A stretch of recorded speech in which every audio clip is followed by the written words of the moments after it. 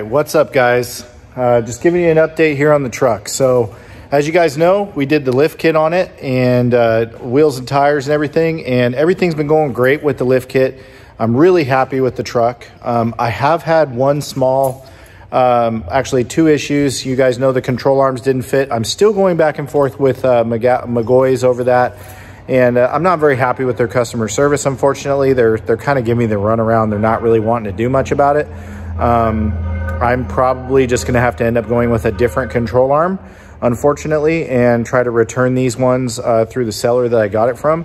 Um, but I'm still in contact with them and trying to get them to do the right thing. Um, one other issue I ran into was uh, one of the rear shocks blew out already on it, which is kind of crazy. So I'm to come and show you guys here.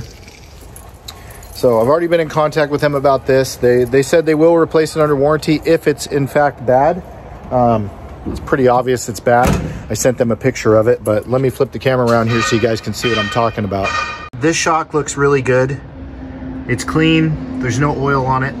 But if you come over to this side here, this one is absolutely just puking. And you can see there's oil coming all the way out from the top of it, running down and dripping out of the bottom. It actually will, will get a little drip. That drip right there is just from sitting here for about 15 minutes. So um, that shock is definitely blown out.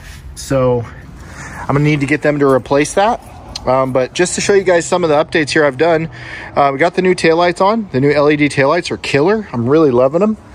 Um, they've got like a really cool C light built in for the running light. They've got the brake light and turn signal separate with super bright LEDs. I went ahead and put aftermarket LED reverse lights in. They're super bright for nighttime, which is working out really good. And then I also went in here and on the license plate lights, I upgraded, upgraded these to LEDs as well. So that lights up a lot better at night. The truck definitely has a much more modern look to it now. I'm really digging it, guys. This thing is coming out pretty much exactly the way I wanted it. Um, there's a few little things I still need to do to it, but I'm very happy with it. And then check out the front end now. You guys check this out. So I did the one piece front end conversion on this, the headlight conversion. Basically, um, these are aftermarket um, housings that convert this truck to a one piece because typically, you remember they have the cat eye. They have the one headlight here, turn signal down here, and then they have the white uh, painted grill piece. So these are LED. I've got LED uh, bulbs in them. And um, I haven't switched these out yet to LEDs. These are still the, the um, factory bulbs, which actually look pretty good. And then it's got a bunch of these LEDs in the side, which is cool. So I really like the look of this. It kind of reminds me of the Avalanche style truck, uh, which is pretty cool. But yeah, I'm probably going to change the bow tie though to either a black or a white bow tie. I haven't decided yet. Probably do a black bow tie. But other than that, I mean, she's she's looking killer. She's looking real good. So now I wanted to bring you guys, you know, up to date with this thing and, and tell you how it's going. Um, one of the issues that I knew I was going to have with this when I lifted it and put these big wheels and tires on it was stopping. So the stopping power is definitely not as good as it was. Uh, the brakes are definitely having to pull a lot more weight now because I don't know if you guys realize, but when you lift one of these trucks, the parts that you add to the truck add a ton of weight and all this and all also you when you lift the truck the center of gravity the roll center it changes. So whenever you stop you have all this weight trying to pull down when you stop and you've got the bigger wheels and tires that are weighing it down as well. Um, we've added about a thousand pounds to this truck just with the wheels and tires and lift kit. I actually scaled it before and after i did this project and before i did the project the truck weighed in about 7,000 pounds on the truck scale now we're at 8,000 pounds. So that's a ton of extra weight, and that's why the truck's not stopping good. So typically uh, what people, when they lift these trucks and do this, they don't address this issue and they just live with it. I mean, you can, but there are times where, you know, I've, I've already, you know, wished I had better brakes. So without further ado, check this out.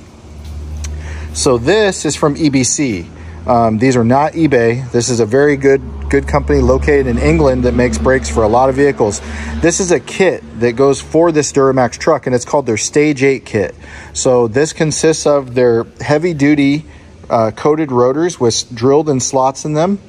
Uh, we've got the Russell stainless braided brake lines all the way around for it. And it's come, it comes with also their special Stage 8 brake pads. These pads that go with these rotors are designed to work together for this vehicle, for a heavy vehicle that tows and stuff. So these pads are, are, minimal dust, but much stronger braking power with the coupled with these rotors. So I'm very excited um, to get these brakes upgraded because I do tow a lot with this vehicle and I tow a ton of stuff all over, you know, with it. And, you know, basically everything I've been doing to this truck, we're getting ready for Texas 2K. I don't know if you guys know, but we're going to Texas 2K with Scarlett. So this is going to be towing all the way to Texas. And so I'm trying to get this truck dialed in because the race is in March and I'm trying to get this thing 100% ready for that trip because that's a very long trip with a heavy trailer behind it. So, Gonna upgrade the brakes. Also got some other things we're gonna address.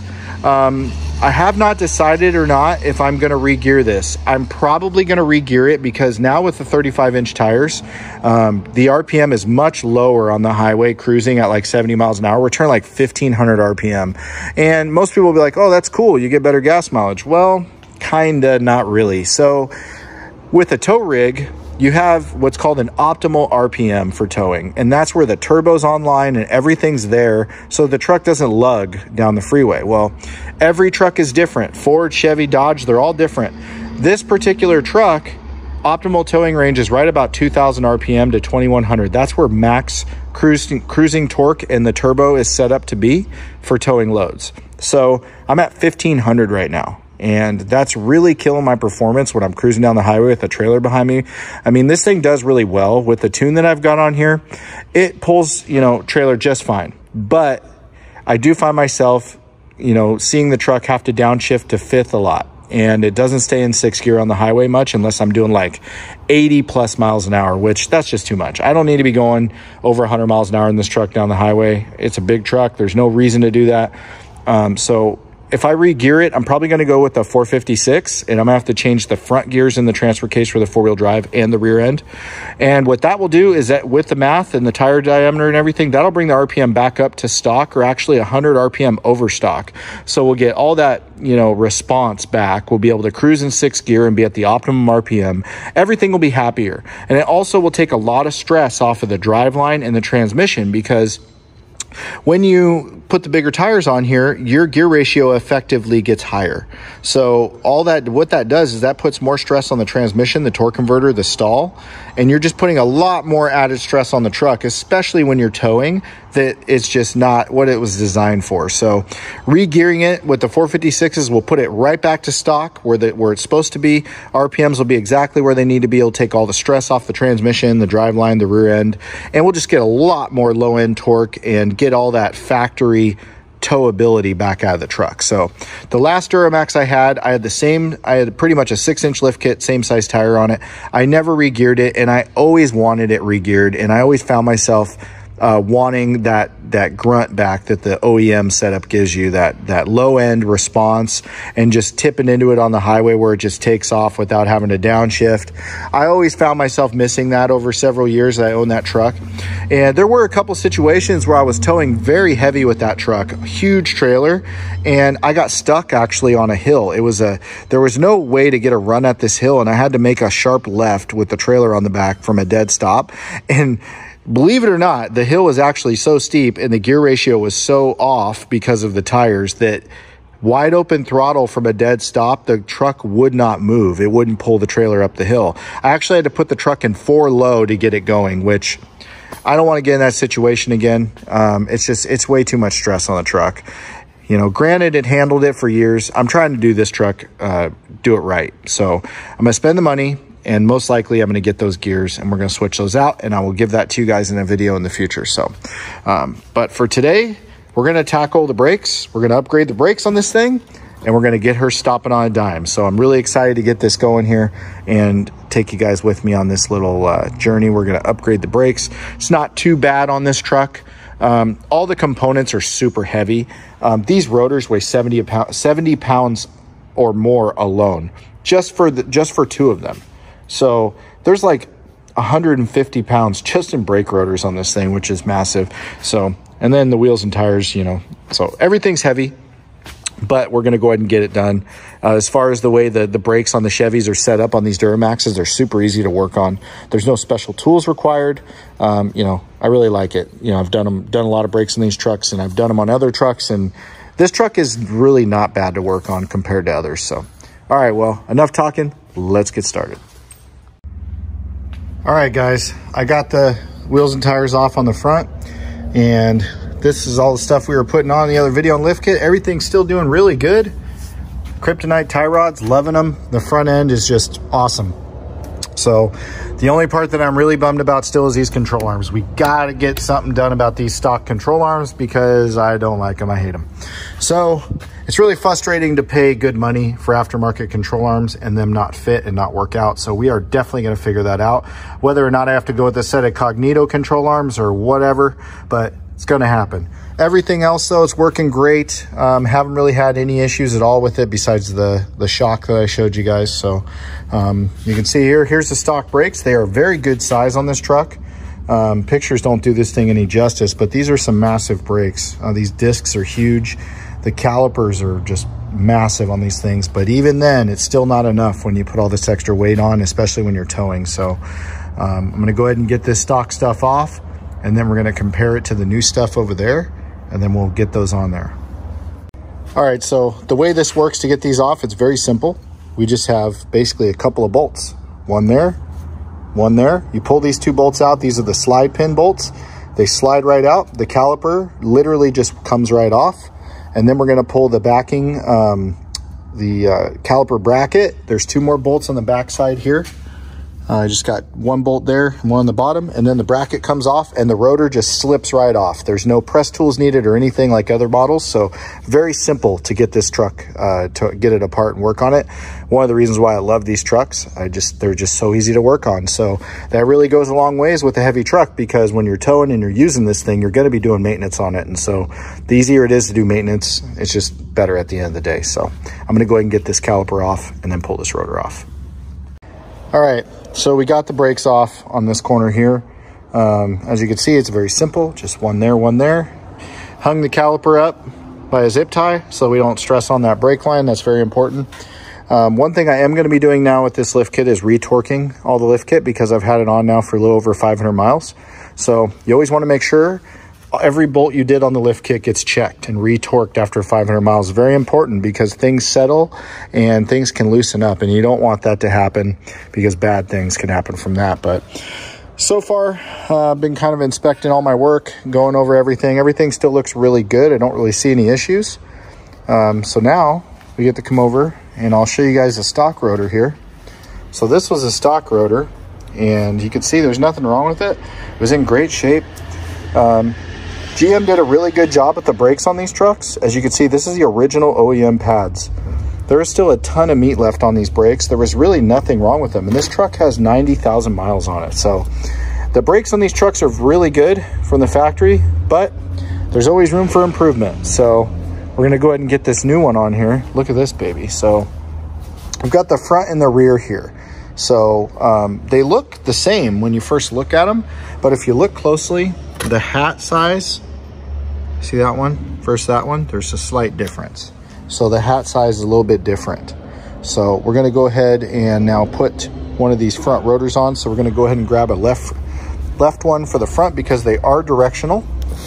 So I believe this is the front. If we look at the hat on this, we'll compare it to the stock one. See if we got it here. Oh, actually, oh, no, kind of, nope, it's not. That's a rear. So you gotta be really careful because they look so similar. So we'll come over here to this one then. Yeah, that does look right. You can see that one. So we'll compare it here. There we go. Got the right one. All right, let's throw this baby on. Holy cow, this thing's heavy. They feel they do feel actually heavier than the OEM rotor, which is surprising to me. I thought they would be about the same size, but see if I can do this one-handed. Holy cow, these things weigh a ton. Oh, this is difficult. All right. Whew. Holy cow, that was tough. All right. Oh, man, that looks really good. So, got the rotor on. All we got to do is basically take caliper bracket, put it back on, slam the new pads in, and then torque everything down to spec. You always want to make sure you torque these bolts on these brakes on these trucks because there's a lot of weight up here. And there's a lot of force when you're braking. So if those bolts loosen up on you, you have a bad day. So make sure you torque all your bolts on the trucks, guys. Don't try to cut corners and just use an impact gun. That is not enough.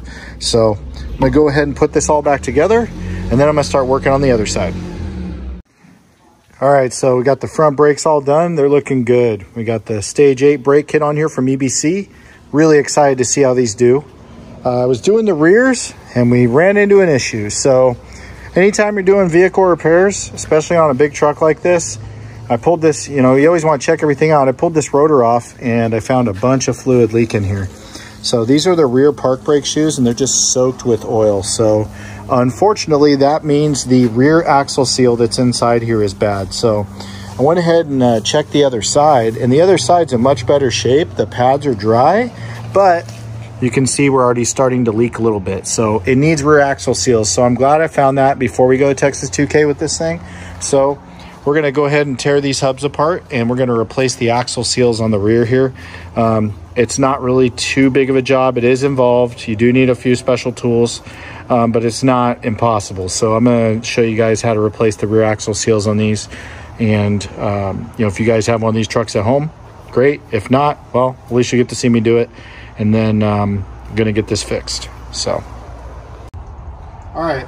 So on these axles with these big GM uh, three quarter ton and one ton axles, really cool is you take these four or these bolts off on this outside here. This is actually the axle that runs all the way into the housing. So we're gonna do, we're gonna pull this out and you'll see this is the actual axle that actually drives the entire truck.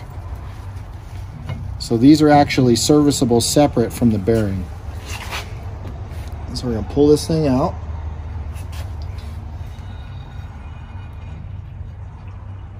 Be nice and careful not to damage anything inside, but look at the size of this thing. Look at the splines on that. So you could tell how heavy duty these things are built because there's no way you're breaking one of these very easily. So once we get this out, set that on the ground there. And then now we can get to our inner bearing seal here. So what we're gonna have to do is there's a clip in here we gotta pop off. And then there's a basically a nut that's got a special tool that we need. So we're gonna have to go get that tool. We're gonna back that nut all the way out. And then this entire wheel bearing hub assembly is gonna come off and then the seal will be inside and we'll be able to get to it. So I'm gonna start taking this apart and then I'll bring you guys back when I get inside.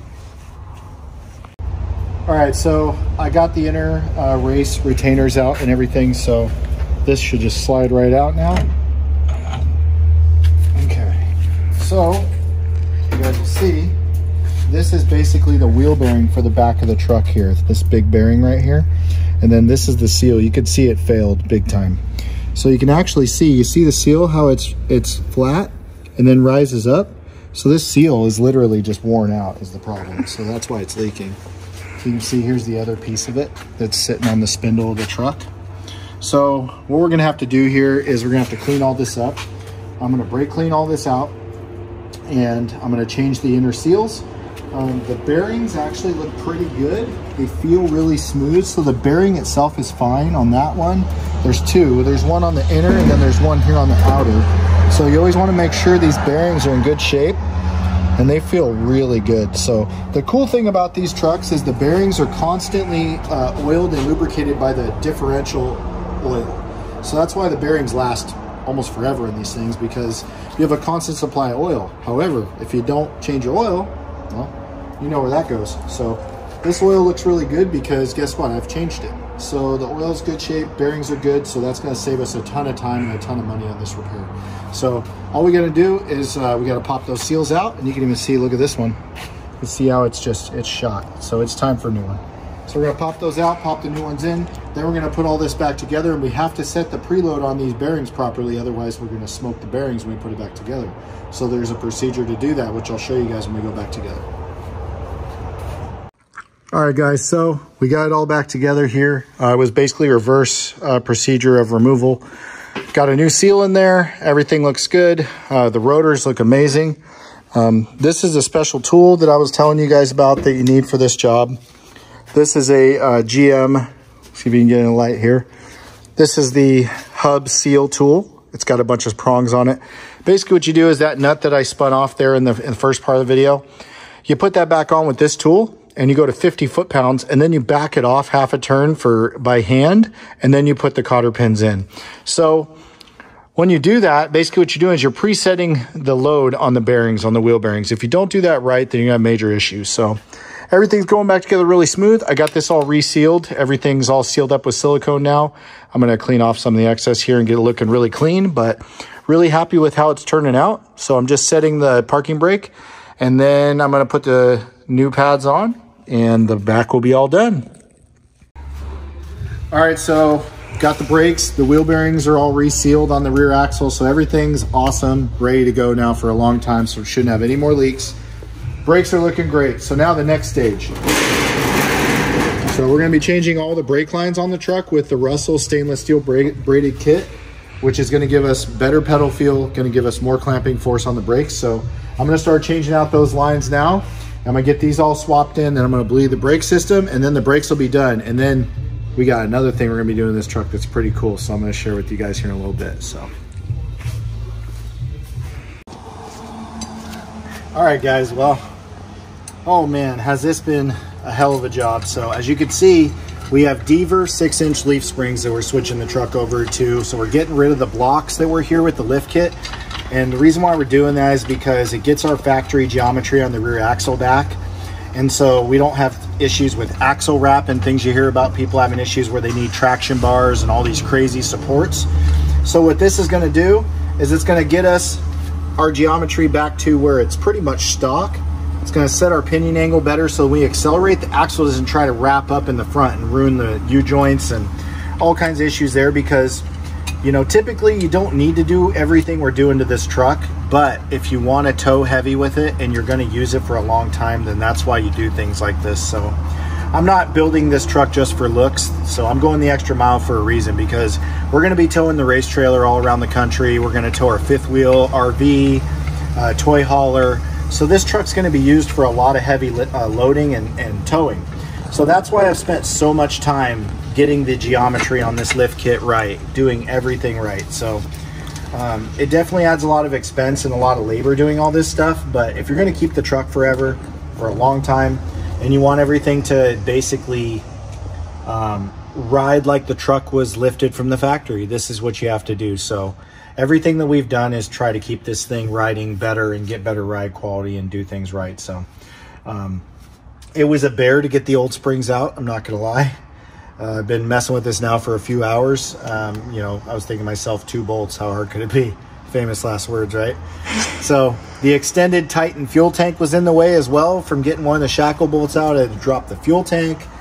Um, yeah, so finally got the new springs in. Everything's lined up. I'm really excited because we're going back together. Now we're on the home stretch. So I'm going to go ahead and get all this uh, tightened up. I'm going to torque all the U-bolts down, and then we're to bleed the brakes, and we'll be done. So here we go. Almost there. what a journey. I think it'll be worth it. All right, guys. Well, got everything buttoned up here. Got another little surprise for you. We got these awesome two inch spacers. So these things are super heavy duty. They're all billet aluminum. And now the front to rear uh, track width is gonna match. So on these Chevys, when you lift them, it pushes the front tires out because of the knuckle geometry on these lift kits. So the back tires are always sitting in further in the front. It doesn't really look very good. So these spacers correct that. So now the front and rear tires are gonna be even front to back. So I did that. Got the new Deaver six inch leaf springs in here. These things are awesome. Look at that. Really liking how this is coming out. Got the stainless braided brake lines. Everything's just looking really awesome. So next thing I'll be doing in a future video here is I'm going to put airbags on the back here. So the airbags are going to replace these bump stops and then um, put onboard air compressor and all that good stuff. But uh, for now, this is going to do it. So uh, I'm going to do a little ride, uh, ride and drive after this here. I'm going to bleed the brakes, take it for a ride, and I'll give you guys some feedback on how it rides and if it's any different. All right, guys. So I've been driving it now with the new Deaver springs on there and the new brakes. And my first impression is I love it. So it rides a lot better now, much smoother. Uh, it's just awesome. See a Deaver springs in there? Uh, one thing I noticed is when I take off now, I used to get this uh, kind of a clunk feeling from accelerating hard from a stop. And that was actually the axle wrapping because of the blocks that were in there. So without the blocks and the leaf spring, this new leaf spring in there now, the, the geometry here is literally like factory. You can see there's no block anymore. So now when it takes off from a dead stop, it's solid. It feels like stock again. So I'm really happy about that. So when I have a big trailer or big loads on here, I'm not gonna have that issue anymore. And I don't need traction bars like you guys see I'll have sticking down into the trucks anymore. So that issue solved. Ride quality has definitely improved. Um, but yeah, overall the brakes are awesome. Stops way better than stock. So I'm very happy with that. But yeah, so the truck's coming good. I'm really happy with it. Um, the next thing we're gonna do is we're gonna level the mirrors and I'm gonna do a, a video on that and I'm gonna uh, do a fog light, uh, dome light mod, uh, rear spots. So I'm gonna hook up these rear spots to come on when you unlock the truck to light up the truck at night. And I'm also gonna hook them up so when you're in reverse, it floods back and shows you behind you. Then I'm also gonna do another mod where these turn signals are gonna be on all the time with the running lights as well. So just like the newer trucks, so those are on with the running lights on the truck. And then uh, we should be pretty set. Uh, she's doing good. Everything's going good on it. So she's just about ready for Texas 2K to tow that trailer in Scarlett all the way down to Texas and back. So I've got a few other little things I want to do to it. Um, there's going to be a whole nother section that I'm going to do here, which is going to address the interior. So um, it's got leather interior, fully loaded, which is nice, but it's just very plain. So um, I'm gonna change the, uh, the gauges, the cluster, a lot of the trim. I'm gonna upgrade a lot of that stuff and make it more modern. So that's gonna be the next thing there. So, all right, well, that ends it now. Uh, hopefully you guys liked the video. A uh, ton of work's been going into the truck, so I just thought I'd share it with you guys. Um, you know, you guys aren't really truck guys, a lot of you guys watching my channel, but um, this is gonna be a big big piece of the channel with Scarlett because this is going to be my reliable transportation to get her to the races and get you guys better content. So um, that's going to do it for now, guys. Don't forget to like and subscribe, and we'll see you later.